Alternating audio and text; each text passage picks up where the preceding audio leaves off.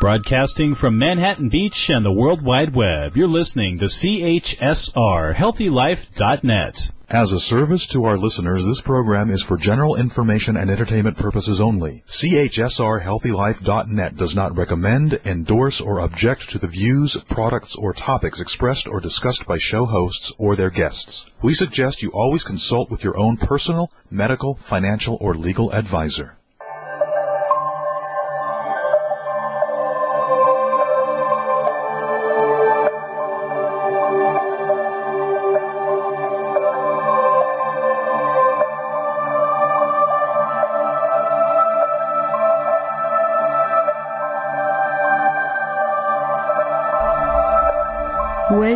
To Love the Angels.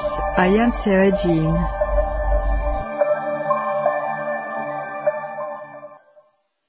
Welcome to Love the Angels at healthylife.net. I am Sarah Jeane. Thank you for listening. Love the Angels show is all about love. The angels are all about the love of the heart. This show conveys angelic messages and prayers, guiding us to live within a sacred space and within the sacred space, the portal of the heart, also leading us to experience at a deeper level our angelic self and our sacred communion with all life, with the angelic beings of light, and how to be clear channels of love. We then co-create in harmony in the oneness of the heart, revealing a luminous frequency which unites us all in true consciousness. It is love. I am truly honored to share that time with you.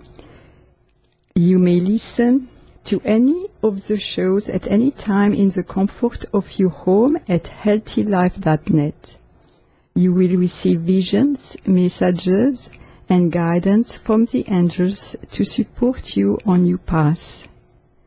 Write down these messages, describe your visions, learn to listen and see from within your heart space. My wish is that this show inspires you in divine ways and blesses you with energies of grace and peace. Together, we open our hearts to experience love. Please breathe into your heart space the love of the divine. Do not close your eyes if you are driving or busy at your work. Breathe deeply a few times the love of Source and know that your breath is a beautiful fluid, divine light in communion with heaven and earth and all that is. When you breathe with consciousness, you experience a divine communion with all life. Feel the love of the angels and the love of the divine all around you, above and below and in your hearts. Light is love and love is light. Learn to be aware of your breath in that way as often as you can throughout the day. It takes you to the present moment. It generates life force, well-being, and leads you to the presence of the angelic beings of light. Enjoy the love. Our topic today is about angels of compassion. Our world is in need of kindness, compassion, empathy, praise, gratitude, appreciation, patience, and love. Today we have a special guest, Mandelyn Reese, also known as Street Angels. With the angels and our beautiful guest Mandelyn, we will share insights guiding us to reveal our natural ability to open our hearts to one another to convey all these qualities of the heart. Mandelyn began her mission as a street angel when she received her a divine higher calling to promote kindness on the streets of Los Angeles back in August 2012. With her angel wings, she has spread her messages of positivity all over the country, including the airports, several talk shows, radio shows, and star-studded red carpets. Mandelyn is now going to tell us much more about her amazing journey and calling to promote kindness. She's with us in the studio. Welcome, Mandelyn. Hi, thank you for having me. Oh, it's wonderful to have you today. I'm excited to be here. Thank you. It is the second time that we meet in the context of a radio show. I was on your radio show, I believe, about one year ago. Is that correct? Mm-hmm. Yeah. I had a web-based uh, TV show. It was viewable, um, and it was on tradiov.com, which uh, that studio actually shut down, and they have started a new one. So maybe one day you will have your own radio show. I hope so. I, would like to have a season three. Yeah, I think it's it's on its way. I think I, I see you there. I hope so. I have a lot more guests I would like to interview. Yeah, I'm sure. So, uh, Mandelyn, you have such a special way to um, convey the messages of the angels and kindness were you always aware of the angelic presence in your life, and when did it start and how, um? I was not always consciously aware of angelic presences, other than you know you see them a lot in uh, in stores and posters and you know, you're aware of angelic beings, um, you know, you go see statues and things like that and just around. But I was also raised in a non-denominational church, uh, most of my life, uh, and childhood and adolescence and everything. And we were taught about angels and, um, I, you know, I was aware of hearing that we had guardian angels, and I never really was sure, like, what all that exactly meant. I just heard of it, so I was aware of that. But it really wasn't until I actually came and stepped foot in the city of angels, Los Angeles, that mm-hmm. I was just bombarded with spiritual stuff. And I, I got my higher calling. I started seeing things like that I couldn't explain. I saw a few angelic beings that, or that I think they were kind of flying around the sky. They're kind of transparent in the clouds, like, but they had their silhouette of them. Yes. And, uh, I was just like blown away. And then, uh, I also had this moment where I bought a book on angel signs by Doreen Virtue or Angel. Uh, I don't remember the exact name of the book, but it's like actual compilation of stories of people who've had encounters with angels. Mm-hmm. And I bought the book. I went to the gym with the intent to read it, but then I was like, no, I think I'm going to leave it in the locker because it'll be hard to read while I'm on this treadmill. So I leave it in the locker. I go to the treadmill. There was a TV screen on it playing a football game as soon as I stepped foot on this treadmill, the screen changed to an eagle flying in the sky, and it said, "Angels do exist." And, and it, then it went back to the football game, and I was like, "Holy crap!" Like it was so shocking to me. I, I, I didn't even know what to do. I was like, "That is incredible to me." It was like a confirmation. Yeah. You know. Yeah. I didn't even need the book. It was like right in my face at the uh-huh. gym. So it was pretty cool. Wow, that's amazing. They really know how to reach us and how to surprise us. It's um, surprise is a good word. Yes, yeah, because yes. I mean it's kind of unexpected, you know. Yes, yes. So, how was the street angel born? Uh, you know, your name as a street angel. How were you inspired to, um, you know, to create the street angel? Well, it was um, my second day having living in Los Angeles when I went out and I got this higher calling that just hit me out of nowhere. I was in a rental car with my friend Claire, who I've known since kindergarten. She was just visiting with me for the week to help me get settled in, and I got this divine download and I blurted it out of my mouth. Like I just said, I feel like I'm supposed to be out on the streets with posters about kindness.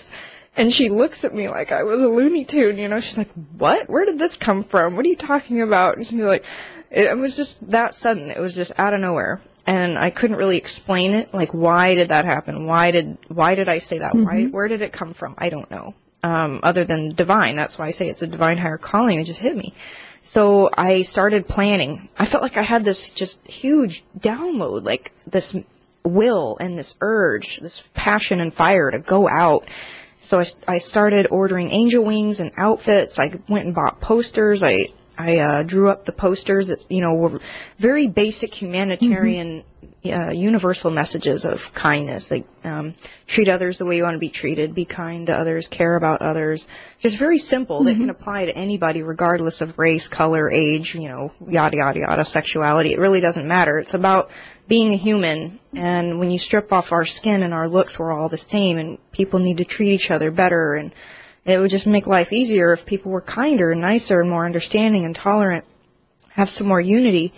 So uh, I took about a month or month and a half of planning, and then I just started uh, out on a street corner one day, dressed like an angel with the most giant poster ever. And I was scared. I was shaking. I didn't know if I was crazy. I didn't know what I was doing. And I mean, I was new to the city. I didn't have a job. I didn't have friends yet. I didn't know you know what was this mission I was embarking on and Yeah. and the name the street angel came later you know after I'd already been doing it for a while Okay. uh I guess cuz I was out on the streets and um wandering about and dressed like an angel it just kind of fit you know the street angel and then I got s- and I started getting inviting invited to a lot of events and so uh, I still wander the streets, you know, when I, pretty much when I'm going from my car to an event, you know, I'm walking the streets still and I go to street fairs and festivals and, and whatever I can go to.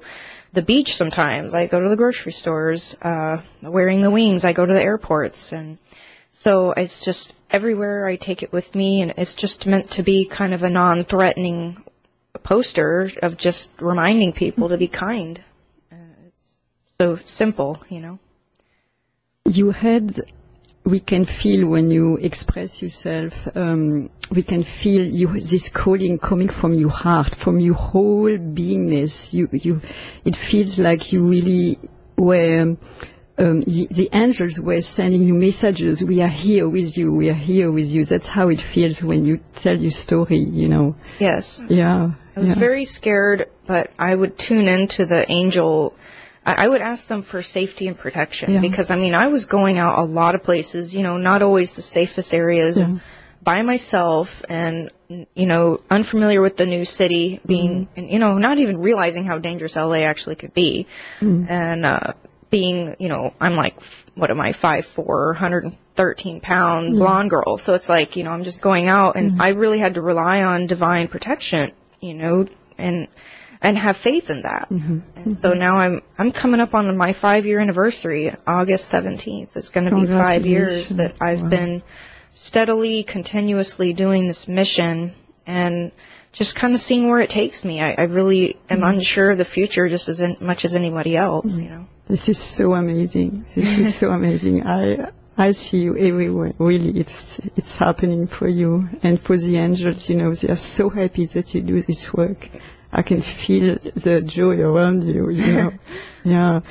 So, wh- what do you write on your on your signs? Uh, tell us a little bit what you write on, your signs. Uh, Um, well, I've had ones in the past that say, uh, don't judge and be kind and patient, forgive, help others. This is my newest one I just drew up a couple weeks ago. It says, stop bullying, be kind. TheStreetAngel.com.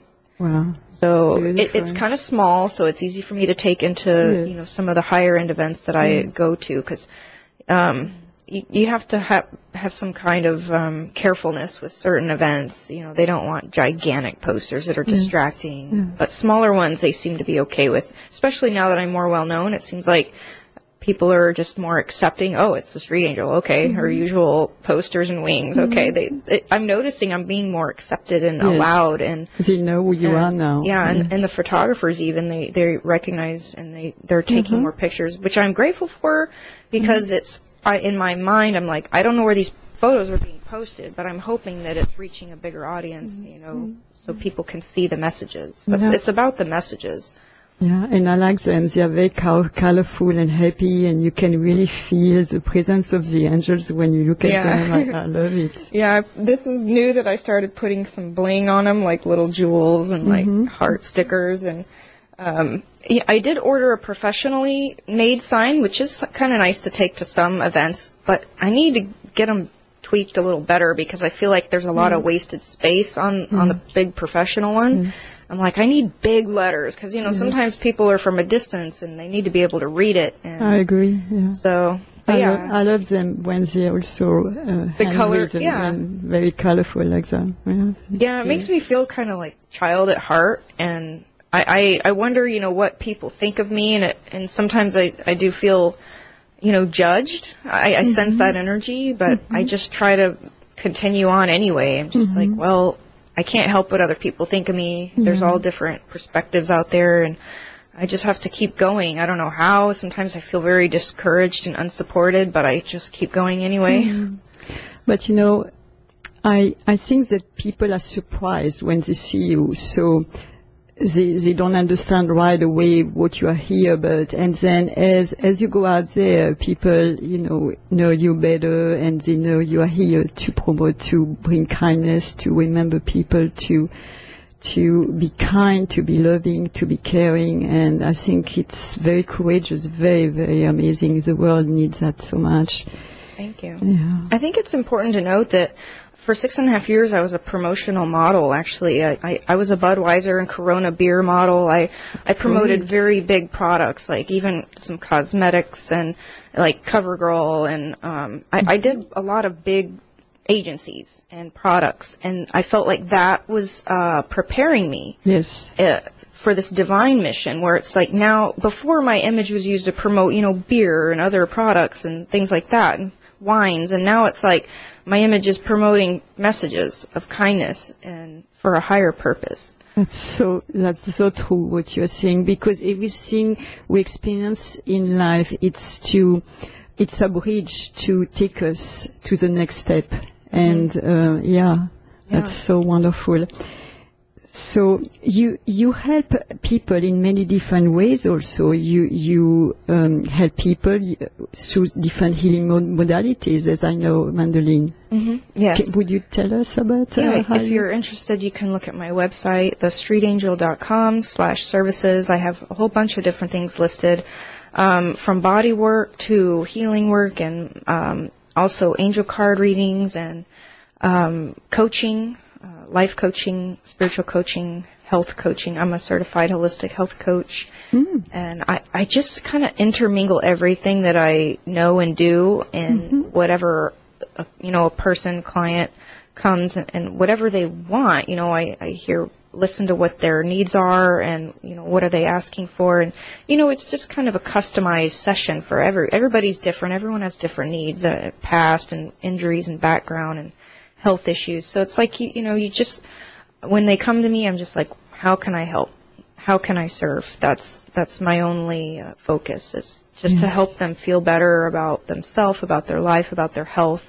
You know, uh, ease their body if if that's what it is. You know, whatever I can do. That I just come from the heart. Thank you, Manoli. It's, it is absolutely needed. and tell us again where people, how can people reach you? Tell us again, please.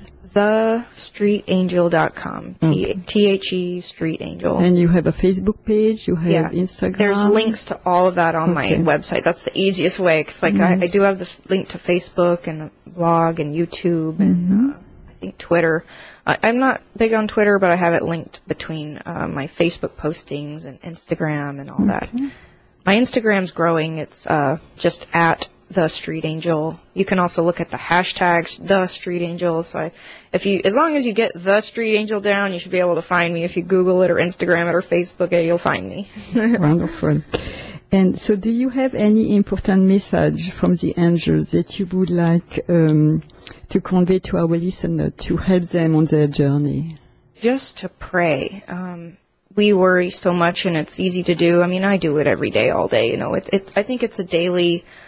I don't want to use the word battle, but it kind of feels like that. Um, an internal struggle of just getting through each day. Sometimes um, when you're unsure of the future and you don't know where your life is going, and and I just say like pray in- in terms of t- have a communication and open dialogue with the universe and the angels and your spirit guides because and you never know who's around listening and who wants to help in turn on the other spiritual dimensions Yes. and uh you know I, I i believe in god and i don't know if there's a way of defining god i believe it's you know he she it elohim as they call it the the masculine feminine combined it's like an omnipresent energy the life force and everything and you know um it's always listening to our wants and needs and desires. And uh, I believe God wants us to have happiness and have our needs met. We just simply have to have a like a co co-creation process with it, you know. Mm-hmm.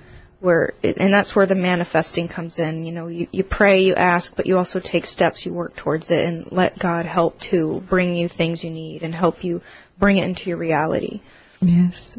Yes, praying and meditation is um, a must um, to to be able to uh, be in communion with the sacredness of life, with with the angels. With we are not walking alone. Yeah, yeah. You can feel that way for sure. Oh, yeah. um, but then, you know, whenever, like you mentioned, meditation, just hearing, feeling, tuning into that Holy Spirit, uh, and you feel peace and calm. Yes, thank you, Mandelyn.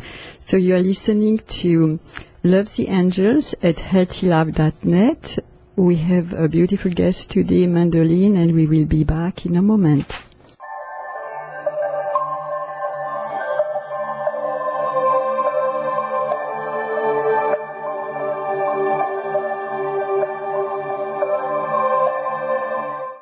Sarah Jeane offers healing sessions and spiritual teachings, one on one or in a group. It's easy, fun, healing, and enlightening.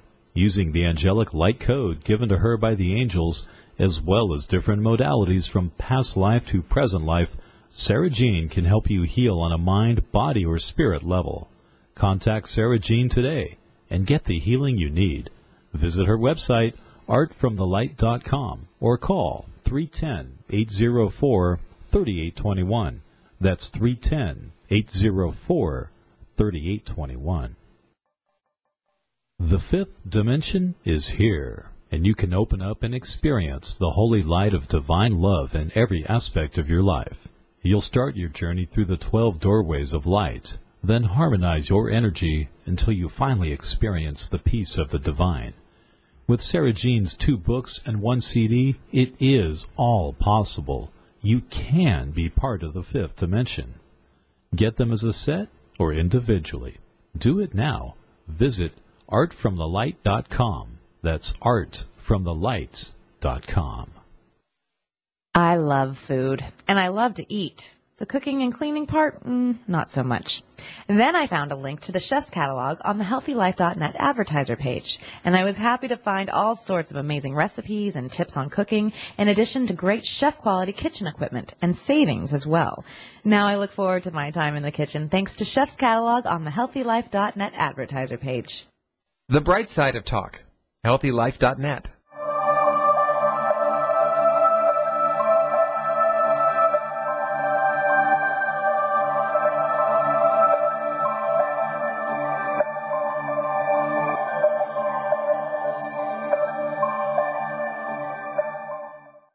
Thank you t- for listening to Love the Angels at healthylife.net. I am your host, Sarah Jeane. I'm in the studio with Mandelyn Reese, also known as the Street Angel.